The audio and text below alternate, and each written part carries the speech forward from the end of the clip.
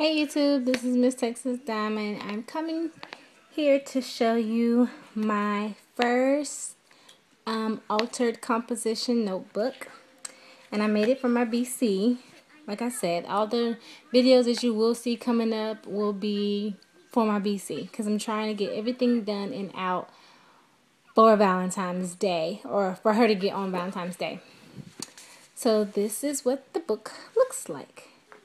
And if you are one of my Instagram friends or however you say it, you probably already seen a picture of it. Um, you probably seen like half of it because I hate Instagram because you have to crop your photos. But and you see my little one's hand. Um, like I said, I'm doing her album. it's so cute. She's like reaching.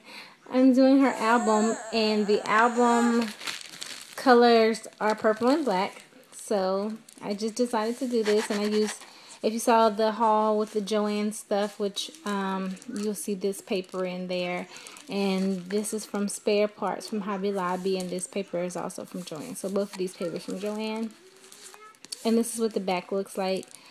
Um, I actually was um, going to do some of the pages in the inside, but I decided to leave it so you can see that it is um, just a composition notebook. And I just thought that I would share this with you. And here you go.